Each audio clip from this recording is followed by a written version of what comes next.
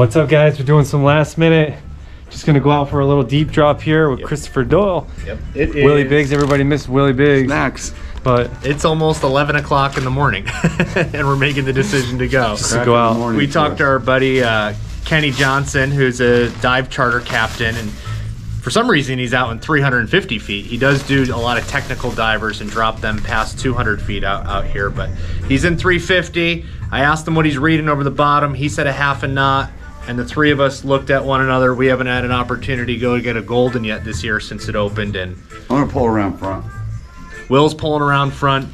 Sounds like we have an opportunity. We're so, going. So we're we're getting our Seaborg electrics together. Um, we're gonna probably drop some accurate valiants. You'll see my setup here. I've got the uh, Maxel Rage 90, which is uh, spooled up with 20 pound test, so that's gonna work well for me out there. We got some 500 gram jigs. We got some 600 gram jigs. And of course, the Gamakatsu um, uh, 620 single rigged assist. So it's kind of kind of nice whenever you got a tackle shop. So whenever you get ready, you just throw it all together. Need an extra rod. If we got a few of them over here at Johnny Jigs. So we'll see you guys out on the water. We're just a few guys decided to pursue our passion. As we hit destination fishing spots in our local waters out of Pompano Beach, Florida, we want to fill you in on what we have learned along the way.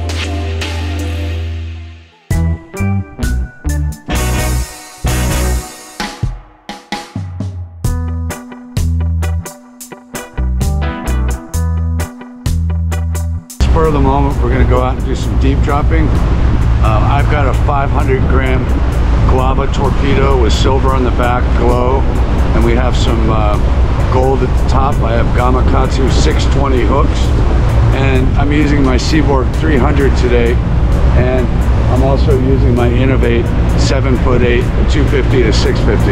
And like Chris, it's the only rod I brought. I do have a backup SPJ 500 accurate in case something goes wrong with this setup. Hopefully we get into them.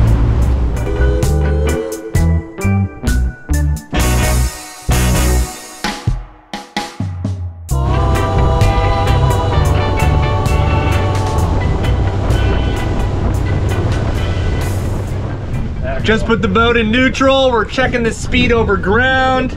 Went from 2.2 to 1.7 to 1.4 to 0.9. And we just put in neutral, so the boat's still moving, but now we're at 0.7. Ooh, baby.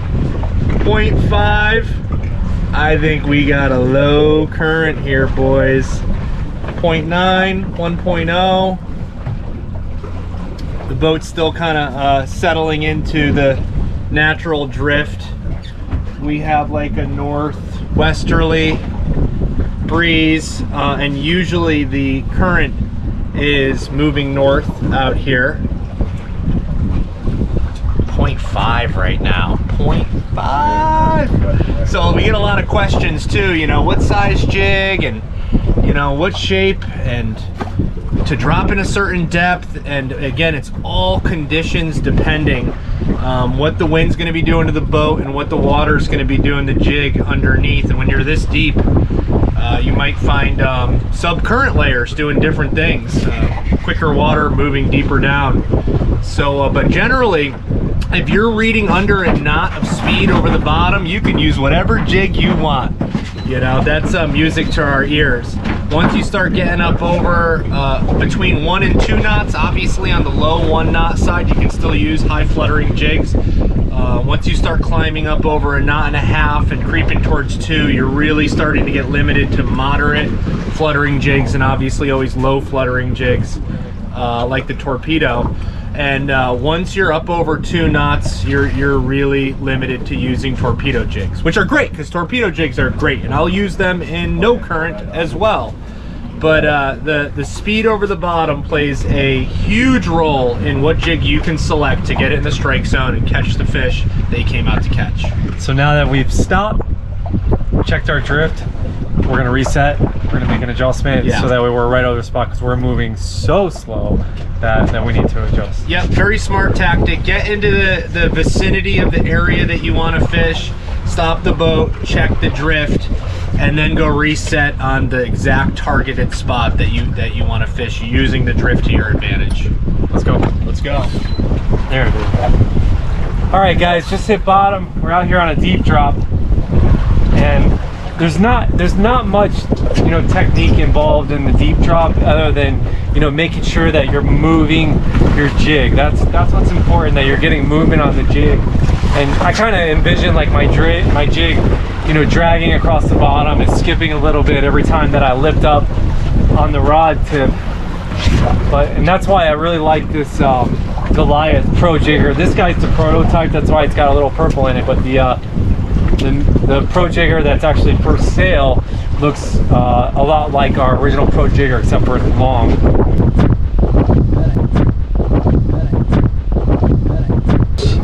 Told you guys, I told you. Got eyeball, guys.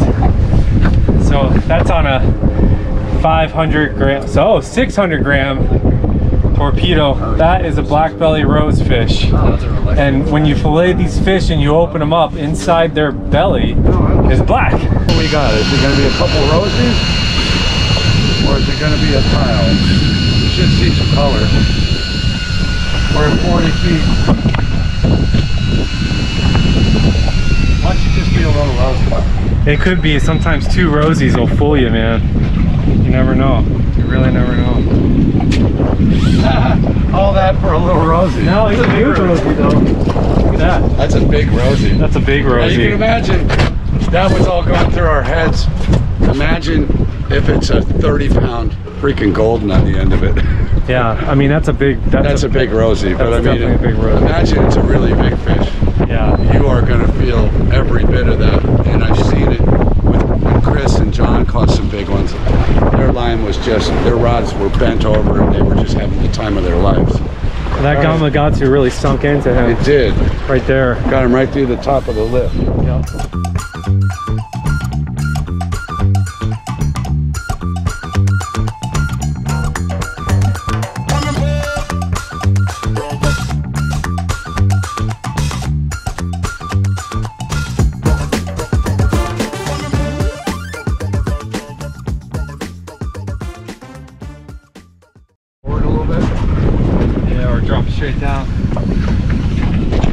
So I just got a black belly rosefish on the 600 gram Johnny Jigs torpedo, uh, golden red, and you can see I've got single hooks on the top and the bottom.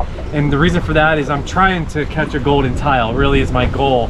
Well, what I'm using, and you'll notice, is the Johnny Jigs Pro Jigger Goliath. So this rod, because it's so long, is gonna help me to put action on the jig. And I've got that paired with the Maxel Rage 90, and I'm using a 20 pound test, but it's Berkley X9, so it's very thin diameter, about 0.17. Woo! Did that eat your Rosie? I think so. It had a Rosie on. Either that or slapped at it and missed. Ooh, that's a lot heavier. I got hit, and I knew it was a black belly rosefish, so I kind of just put it back down. Now I'm, then I got a big, this guy's a lot bigger. Oh yeah, baby, that looks good. That looks good. The right color. Here we go. The right size. Here we go. Heavy, bro. Holy, oh yeah, that's Come on him, up. baby. That's him, baby. That's a big boy too. I got your line. Stick that fish. Woo! That's a big boy. Watch out, he's hardly stuck. I'm in free spool. Let's just put him in the boat. Whoa! Look at that, guys. That's a fatty boom batty. I want to show our audience this fish. Guys, look. Let me get the camera behind you. Look at this. Look at this guy, guys. That's on the torpedo. Gold out here. We hit gold today. Little teeth, guys, if you look. There's some little crunching teeth in there. And uh, they got this beautiful gold spots on them, and that's obviously why they call them golden tiles. And they just get so big down there. I- In New Jersey, they get like 30 plus pounds, 40 pounds, even 50 pounds. So, you know, but for us, this one's great.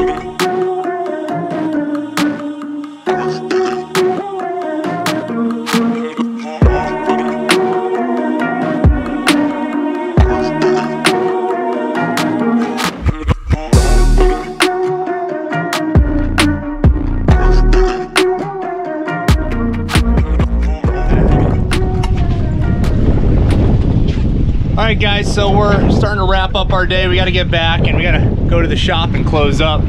Um, but we just uh, bumped in a, a, couple miles off of our uh, our deep water spot. We're still pretty deep though, um, and uh, we saw something really cool on the map, and we're gonna drop some jigs and check it out. I'm actually sticking with the 600 gram Golden Glow uh, torpedo that I bumped it out there after a few drops. The wind kind of picked up just a little bit and this helped me uh, continue to feel bottom. But because we're just doing a kamikaze, you know, drop on this spot, I'm gonna stick with the heavy lead and uh, you know barrel it down there quick get down there before these guys and we're just kind of seeing what's there so stay tuned we got tug I have this camera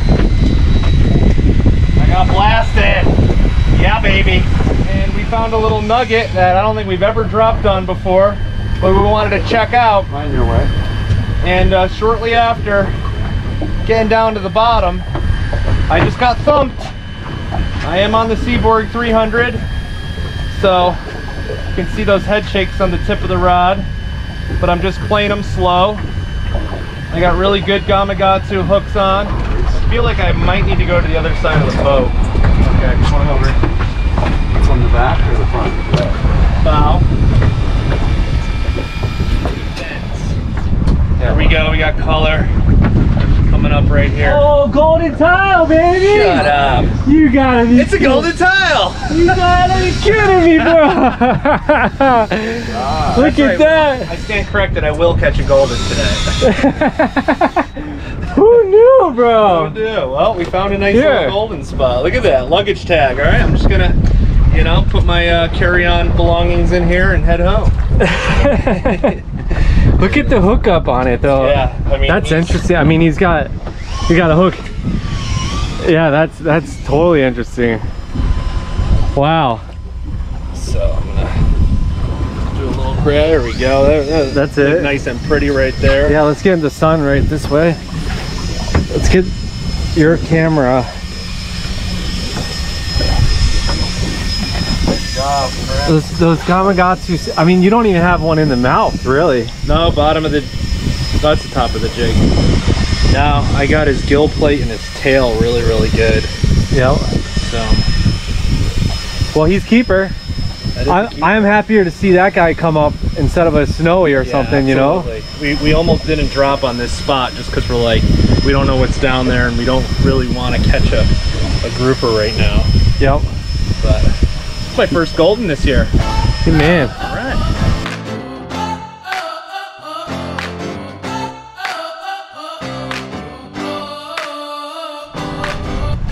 All right, guys, here we have our golden tile fish, which is a deep water species. This guy was somewhere between seven and 850 feet down, somewhere in that range. Um, but they're uh, very beautiful looking fish. They have a nice little bit of girth, so the fillets are are, are really nice and, and thick. This isn't a, a huge one, but nonetheless, it's a it's a good size and a good eating size. So we're gonna fillet this guy up. One thing about them, they do have um, I think mercury and or nitrogen levels. So we're gonna fillet this and we're gonna let it sit in our fridge overnight and at the earliest cook tomorrow um, or possibly today's Thursday so uh, possibly Saturday night dinner we're gonna cook these fillets up fresh and that helps kind of emit some of the nitrogen that the meat retains.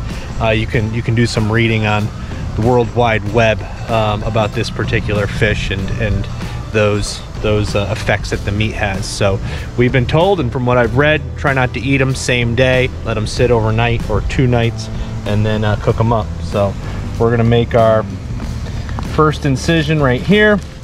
Go up towards that head.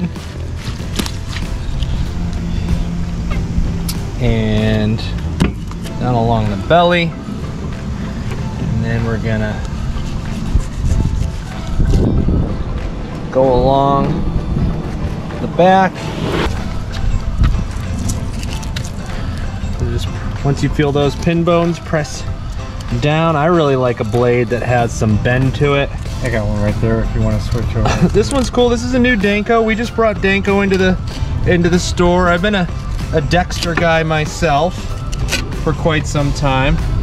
Um, once you get over this backbone right here, you want to again angle down a little deeper angle. You'll see a lot of people doing that just because if you just continue straight, you'll uh, you'll miss some of the meat on the backside. So if you angle it down, you'll get the meat. And I like to poke through the tail somewhere there and just press down and whip that out. And then that'll allow me, see how we're pretty much right on the pin bones there.